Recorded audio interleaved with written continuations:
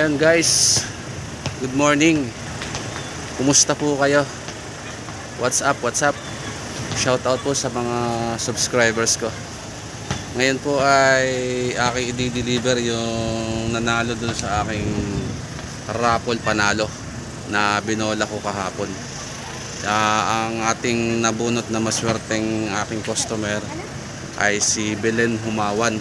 Taga saan po ba yan? Kilala niyo ba yan? At kanina pa kayo nag-uusap Ayun. dyan ah. Hahanapin natin dito sa Purok Pagkakaisa Barangay Kota, Lucena Kanina City. pa kayo nag-uusap. At sigurado tuwan-tuwa ito dahil siya ay nanalo ah, ng rice cooker. Ayan o. At ating dadalhin na ngayon. Kan- Kagabi ko ito binola. Ano po. At sige po. At saglit lang at aking dadalhin. Salamat. Ayun, dadalhin ko na po mga ka-hangout. Hahanapin ko dito sa loob ng kanyang ano, at papunta na po tayo kay Belen Tumawan. Alin natin yung ating nanalong raffle panalo. Dito siya. Tindahan siya dito eh. Yung tindahan niya. Sana all nanalo. Oo naman. Di ka naman nanonood sa ano ko Ate Belen eh. Ano? Hindi Dito si Ate Belen. Dalawa ba?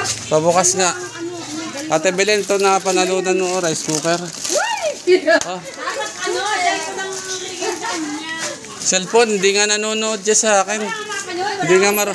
Hindi nga maroon. Bakit meron kang bakit nagana yung iyong ano? Alin? Yung iyong cellphone. Naka-rolling? Ah, ito na panalo na ko. Ay, thank you. Baka gusto mo naman akong papasukin. Pasok. Ayan po si Belen Humawan, siya po yung nanalo. Oh. Ito po yung kanyang tindahan. Congratulations.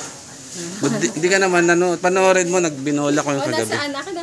O hindi dito, doon sa cellphone mo. Ah, Paalis ako. ah naandun. Oo. Nakaandun. Oo.